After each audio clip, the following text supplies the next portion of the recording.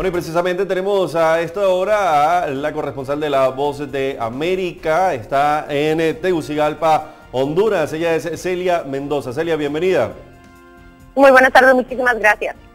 Cuéntanos cómo amanece Honduras en estos momentos en relación con las informaciones que se manejan de esta necesidad de las últimas horas de presentar próximamente quién será el eh, ganador de las elecciones del pasado 26 de noviembre.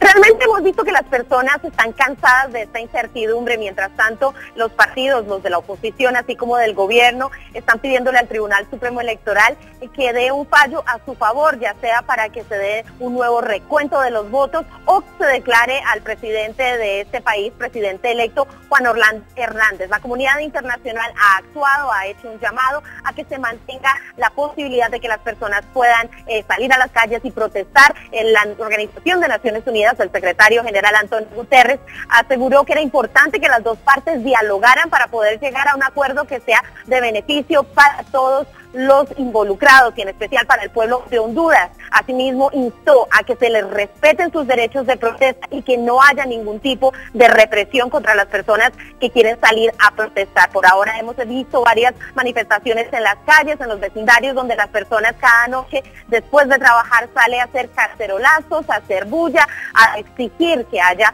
un cambio en este sistema y en especial a que haya transparencia pero las últimas horas se ha debilitado la protesta, la incidencia de protestas por parte de la oposición o está la oposición en estos momentos tratando de definir una nueva estrategia para impugnar las elecciones. Así es, el día de ayer eh, oposición se reunió con todos los líderes de cada uno de los departamentos de Honduras, quienes viajaron hasta la capital, sacaron un comunicado, una carta de apoyo a Salvador Narrala y al mismo tiempo convocaron a un paro nacional para este 15 de diciembre a las 6 de la mañana, donde se espera que las personas cierren las calles, eh, prohíban o de alguna manera eviten el paso vehicular en las grandes carreteras. Eh, ellos esperan que sea una masiva movilización, sin embargo la oposición asegura que este tipo de movimientos han bajado la fuerza, de que no creen que puedan encontrar la misma respuesta.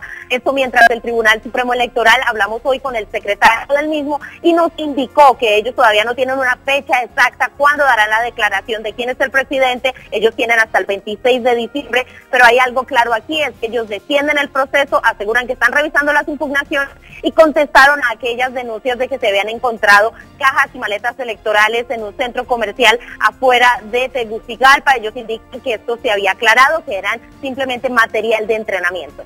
Fíjese, otra incertidumbre que se está manejando en estos momentos en Honduras es que podrían estar articulando una ofensiva por parte del partido de gobierno para debilitar a la alianza de oposición. ¿Cómo se está manejando eso? Así es, aquí en Honduras lo que hemos visto es que ellos están eh, trabajando una estrategia. El presidente se ha mantenido fuera de los medios de comunicación, por lo menos en los últimos días no hemos visto al presidente dar declaraciones. El Partido Nacional también se ha mantenido al margen en términos de organizar otros movimientos públicos, pero definitivamente están tratando de presionar a las organizaciones internacionales y al Tribunal Supremo Electoral de buscar una salida en la que se pueda desvalidar los puntos de la oposición, esto mientras ellos siguen argumentando que tienen pruebas de un posible fraude.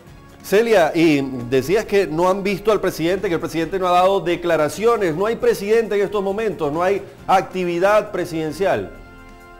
Al momento no hemos visto, la última actividad presidencial que vimos del presidente fue la semana pasada durante esta marcha que hizo, esto fue alrededor del jueves de la semana pasada, desde entonces no hemos visto al presidente en ningún evento público, en ningún tipo de evento en el que el presidente haya hemos tratado de buscar una entrevista con el presidente, sin embargo su oficina de prensa no nos ha dado respuesta por lo menos ni negativa ni positiva hasta el momento, pero lo que sí está claro es que está evitando ah, estar en muchos eventos públicos, eh, de hecho no lo hemos encontrado en el, lugar donde se encuentra el partido. Hay miembros del partido dando declaraciones constantemente, defendiendo eh, los resultados, asegurando que ellos han seguido las leyes, pero hasta el momento no hemos podido hablar con el presidente Juan Orlando Hernández, quien es uno de los personajes principales, a diferencia de Salvador Narrala, que ha estado muy disponible a hablar con los medios y declarando obviamente que no acepta esta decisión.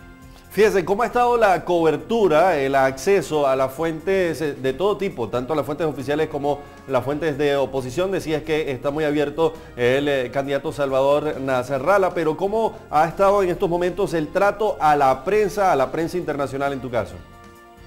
Realmente lo que hemos visto es que la prensa internacional, ya estando dentro de Honduras, no hemos tenido complicaciones eh, logrando entrevistas con los miembros del gobierno del Tribunal Supremo Electoral, con los miembros del partido, eh, no hemos tenido complicaciones con eso. Ahora, la Organización de Estados Americanos se ha mantenido al margen de dar declaraciones.